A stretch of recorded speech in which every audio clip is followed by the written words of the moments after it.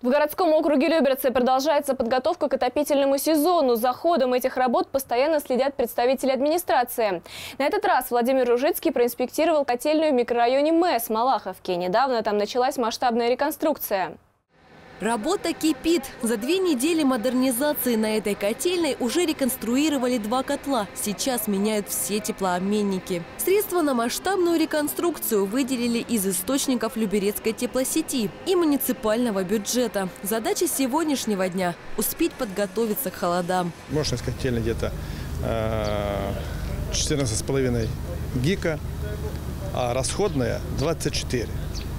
И поэтому дефицит э, огромный. Там, по подсчетам 65% дефицит. Это есть большая проблема. Я допускаю, при достаточно низких температурах здесь будет дефицит тепла, будет.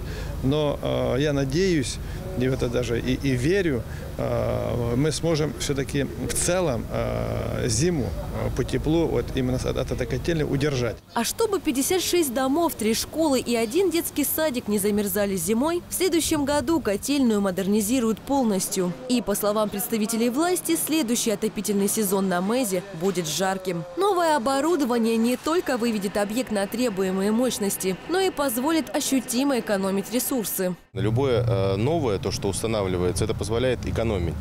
Все теплообменные аппараты, они были отработаны уже, было отработано долгое время. Из-за этого они забились и исчерпали свой срок службы. У нас есть несколько примеров котельной. Это в Томилино. Котельная тоже модернизирована, где приятно найти, зайти на нее. Вот, где новое оборудование, новая автоматика. Это, во-первых, и безопасность. Все это реально, все это делается. И, как показала инспекция, ремонт в котельной на МЭЗе ведется в плановом режиме. Все намеченные на этот год работы завершат к 1 сентября. Анна Троян, Дмитрий Шарапов, телеканал ЛРТ.